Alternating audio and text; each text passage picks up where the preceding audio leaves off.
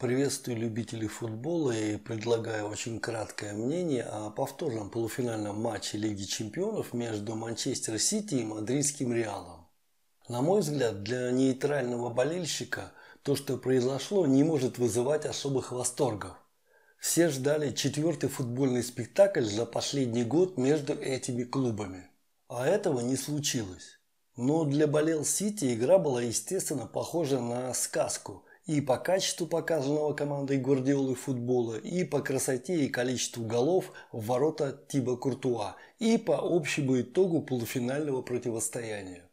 На мой взгляд, все было решено уже в первом тайме. Подавляющее превосходство хозяев поля привело к двум заслуженным голам в исполнении Бернарду Сильвы на 23 и 37 минутах. Говорить о том, что Реала практически не было на поле минуты до 30 не имеет смысла. Это просто факт. Так было и в первом матче в Мадриде, в таком же временном интервале, но там Манчестеру забить не удалось. А напротив удалось забить Реалу, и второй тайм того матча прошел в очень упорной борьбе. Вчера же, проснувшийся от непомерного давления хозяев Мадрид, к 30-й минуте уже горел 0-1, а вскоре и 0-2, и в раздевалке команды ушли при этом счете. Конечно, футбол команды Гвардиолы, показанный в первой половине, вызывает абсолютный восторг. Были хороши все. Холланд на острие атаки, Бернарду Сильва на левом, а Грилиш на правом флангах. Де Брюйне появлялся в совершенно разных местах газона, путая игроков гостевой команды.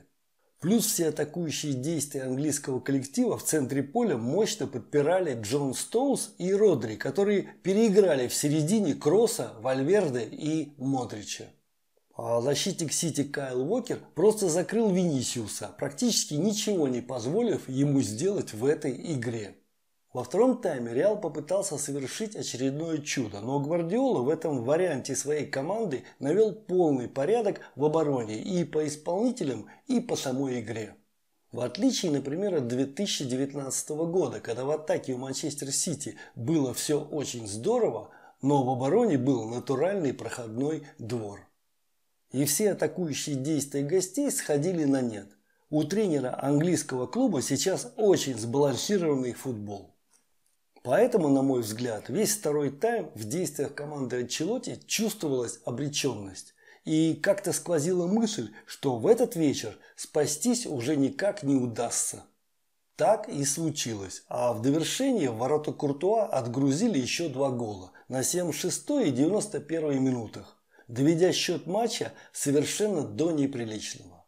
Хотя Сити во втором тайме старался играть более прагматично.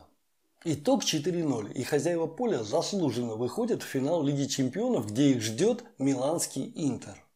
Мне кажется, что Модричу, Кроссу и Бензима из-за возраста уже в этом сезоне тяжеловато держать тот уровень, к которому мы все привыкли на протяжении многих лет. Плюс для них сам сезон был очень интенсивным. И в этом тоже кроется причина такого результата для Мадрида в этом полуфинале. Есть же Асенсио, Лукас, Сибалиас. Может, стоило в Англии выйти в старте с ними?